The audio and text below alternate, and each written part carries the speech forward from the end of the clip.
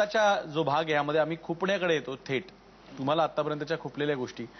देवकाका तुम्ही मला पहिल्यांदाच सांगा आजकालच्या संगीताबद्दल शब्दांबद्दल गायकांबद्दल कवितांबद्दल तुम्हाला काय खुपतं? एक तर मी काळानुसार जाणार मनुष्य आहे पहिली गोष्ट. त्या काळाला जे जे युक्त आहे ते तेच पुढे जात असतं. आणि ते योग्यच आहे. कला काय जीवनाची गती काय सगळं सगळं त्या त्याप्रमाणे जात असतं.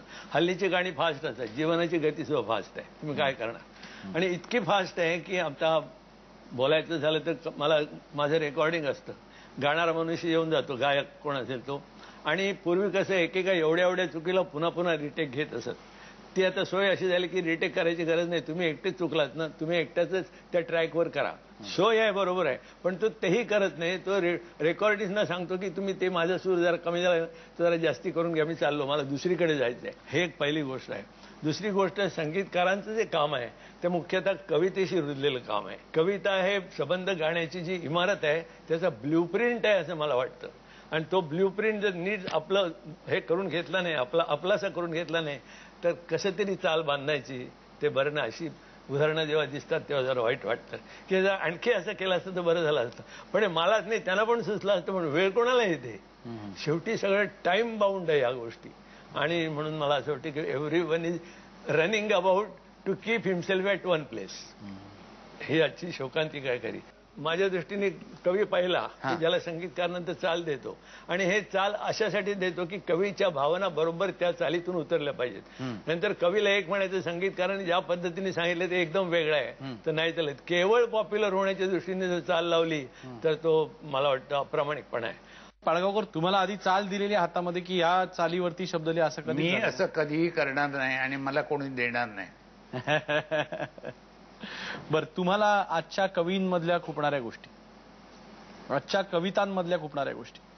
आजच्या कवितांचं असं आहे की अनेक चांगले लिहिणारे आहेत आणि अनेक वाईट लिहिणारे आहेत. पण ते काय आजच होतं असं नाही. जुन्या काळात सुद्धा चांगले लिहिणारे कवी आणि सामान्य लिहिणारे कवी होतेच की. तेव्हा आजचा काळ म्हणून विशेष बाळगण्याचं काय बोटं रोखण्याचं काय कारण नाही. दगडांच्या देशा असं कवींनी पूर्वीच्या म्हटलेलं आहे. तर आजच्या तारखेला जे घोटाळे होत आहेत तर ह्या महाराष्ट्रात जे घोटाळे होत आहेत त्या घोटाळ्यांना बघून तुम्हाला काय वाटतं? असं बघा. घोटाळा हा शब्दाचाच आहे. जो टाळा म्हणून टाळता येत नाही तो घोटाळा. असं. मराठी भाषेची स्थिती आजच्या तारखेला जी आहे तुम्हाला खुपते का? पुष्कळ ठिकाणी ऐकतो मी. आता भाषेचं काय होणार? पण मला असं मुळीच वाटत नाही. सगळीकडे ग- मी कविता वाचनाला गावगाव फिरत असतो. मोठ्या प्रेमाने लोक येतात ऐकतात. उत्तम ठिकाणी जिथे योग्य पाहिजे आहे तिथे रिस्पॉन्स देतात तिथे दाद देतात.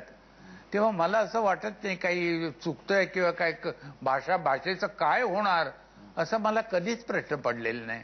मराठी माणूस हा भाषेवर प्रेम करतो. त्याला भाषेचं काय होणार आहे कोणीही सांगायची इच्छा जरूर नाही आहे. देवांकडे वळूया पुन्हा एकदा. देवकाका तुम्हाला समाजातल्या आजच्या खुपणाऱ्या गोष्टी. एक तर ह्याला ह्या युगाला आपण एक विज्ञान युग म्हणतो. आणि असं असतानाही आपण जे काही श्रद्धा म्हणून गोष्टी जपत असतो तिथे मला ते खुपतं. आपण बोलतो एक आणि करतो दुसरंच. श्रद्धा म्हणून परंपरा म्हणून काही गोष्टी करतो. उदाहरणार्थ गणपतीचा उत्सव आपण करतो. गणपती पाच दिवस घरात आणतो. त्याच्या पुढे मोदक ठेवतो.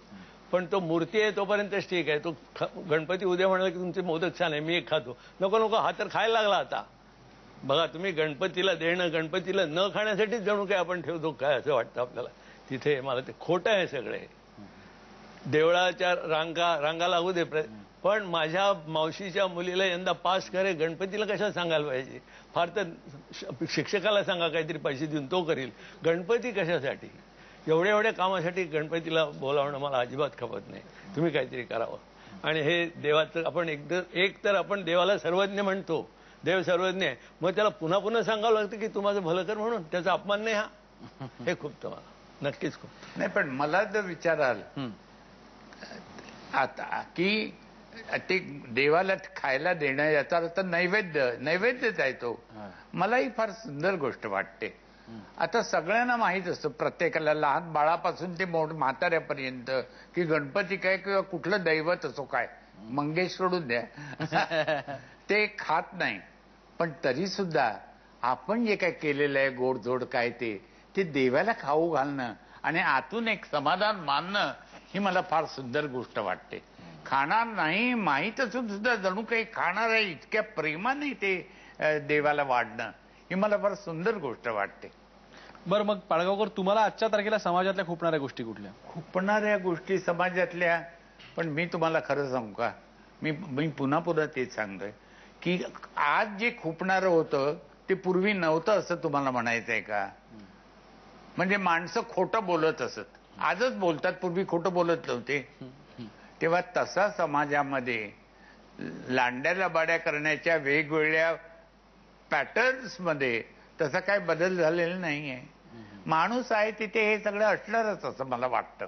तुम्हाला काय वाटतं? नाही, पण हे समर्थनीय आहे असं वाटतं का तुम्हाला? समर्थनीय नाहीये. मी सांगतोय हे समर्थनीय आहे असं म्हणून सांगत नाही. बरोबर. हे आहे फॅक्ट आहे. तुम्हाला महाराष्ट्र भूषण मिळालं होतं पण ते खूप उशिरा मिळालं असं बऱ्याच लोकांनी म्हटलं.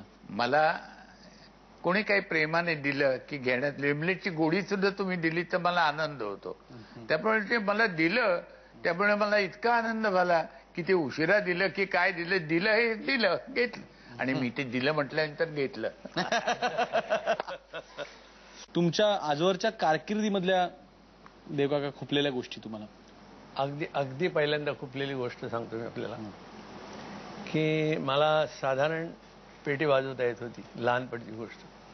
आणि आम्ही रेडिओवर जेव्हा गेलो ऑडिशनला तेव्हा तिथे पेटी बॅन होता हार्मोनियमला बॅन का? आय एम टॉकिंग हो पूर्वी बॅन होता. बरीच वर्ष बॅन होता.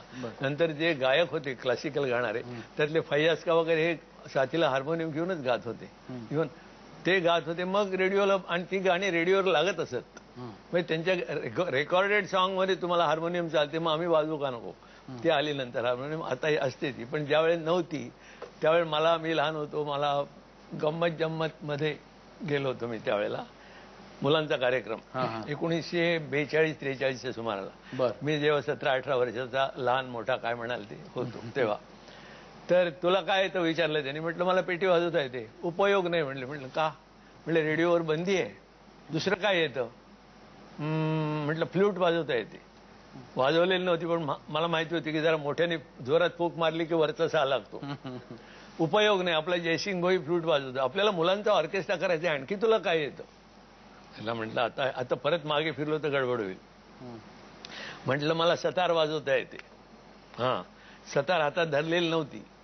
पण आमचे वडील सतार वाजवत होते. आमचं गाव पेण. आणि पेणला आमच्या घरामध्ये संगीताचं वातावरण होतं. सगळ्या नाटक कंपन्या संगीताच्या जेव्हा त्यांचे खेळ घेऊन येत असत आमच्या घरी उतरत असत. आमच्या घरातल्या ऑर्गनवर त्यांच्या रिहर्सल हे सगळं मला माहिती होतं. आणि वरील स्वतः उत्तम सतार वाजवत होते. मी घरी गेलो आणि म्हटलं मला सतार रेडिओवर वाजवायचे रेडिओवर तेव्हा जरा सांगा. कशी धरायची ते सांगा. ते म्हणले अजून तू हातात नाही धरलीस नाही वाजवणार काय? म्हटलं हातात धरायची कशी सांगा पुढचं मी वाजवतो. आणि अक्षरशः त्यांनी असं असं करून दाखवलं आता म्हटलं मी जातो. केव्हा कार्यक्रम आहे? म्हटलं पुढल्या शनिवारी. मध्ये तीन दिवस होते. मी त्यावेळेला इथे येऊन एक गाणं वाजवलं घर घर में दिवाली है तेरे घर में अंधेरा. पूर्वीचं अनिल विश्वासचं गाणं. त्याला काय फारशी अक्कल लागत नाही सा सा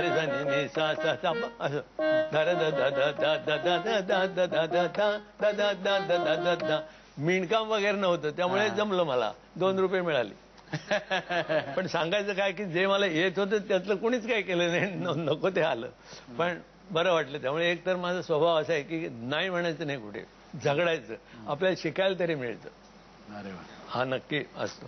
तेव्हा त्या गोष्टीनंतर मला असं वाटलं की हे आपले परीक्षा घेणाऱ्या सगळ्या गोष्टी आहेत. ते खुपायचं काय? गुलाबाला काटे असतात कधी खुपतात काय? पाडगावकर तुम्ही कवितेचा खरं खरं सुवर्ण काळ एक तुम्ही स्वतः बघितलेला आहे. आणि आता त्यानंतर ज्यावेळेला आपण बघतो साहित्य संमेलनामध्ये कवींची म्हणजे कविता वाचण्यासाठी जी झुंबड उडालेली असते किंवा सामान्य माणूस जो कवीवरती जी टोमणे मारतो म्हणा किंवा त्यांच्या चेष्टेचा विषय असतो कवी कवी आणि कविता तर हे सगळं बघून वाईट वाटतं का? एक तर त्यांचं लेखन अत्यंत वाईट असतं म्हणून वाईट वाटतं. पण सगळ्यात महत्वाची गोष्ट तुम्हाला सांगतो त्यातली बरीच मुलं म्हणण्यापेक्षा जे काही कवी असतात ते पुष्कळ वेळा आमच्याकडे येतात आपल्या कविता घेऊन. तुम्हाला आश्चर्य सांगतो त्यांच्यापैकी कोणीही काही फारसं वाचलेलंच नसतं. म्हणजे त्यांना बोरकर माहीत नाहीत कुसुमाग्रज माहीत नाहीत नागा देशपांडे माहीत नाहीत अनिल माहीत काहीही त्यांनी वाचलेलं नसतं. फक्त ते वाईट लिहितात ते दुसऱ्याने वाचावं अशी त्यांची इच्छा असते. असं आहे मी नेहमी असं त्यांना सांगतो शेवटी की चांगलं गाणं गायचं असेल ना तर तुम्ही तुमच्या गाण्याने गाता बरोबर आहे पण चांगलं गाणं ऐकलेलं असलं पाहिजे हो. नाही का. गाणं ऐकणं ही गाणं गाण्याच्या अगोदरची महत्वाची गोष्ट आहे. तसंच वाचन चांगलं कवीचं असणं तुम्ही सगळे आपल्या अगोदरचे कवी उत्तम वाचलेले असणं आणि न वाचलेले असण्याने तुमच्या व्यक्तित्वात प्रचंड फरक पडतो. आणि वाईट गोष्ट म्हणजे अशी अलीकडे वाचत काहीच नाहीत. तुम्ही कविता वाचण्याची तुमची जी पद- पद्धत आहे त्याची देखील खूप लोक कॉपी करतात. अगदी दाढीची पण सुद्धा कॉपी करतात तुमच्या. तर हे खुपतं का कुठेतरी? त्याचा काय? आता त्यांनी माझ्या दाढीची कॉपी केली काय? तरी मला इथलं काय थोडस करायचं माझा वस्तारा मलाच घ्यावा लागतो. तसं त्यांना शेवटी त्यांचा वस्तारा घ्यावा लागणार त्यांची दाढी त्यांना ठेवावी लागणार. तुम्ही मात्र इतके वर्ष एक दाढीची तुमची स्टाईल मात्र मार्क निष्ठे निष्ठेने ठेवलेली आहे. निष्ठेने ठेवलेली आहे. पण तिला मी ठेवलेली नाही तिच्याशी लग्नच झालेलं आहे माझं असं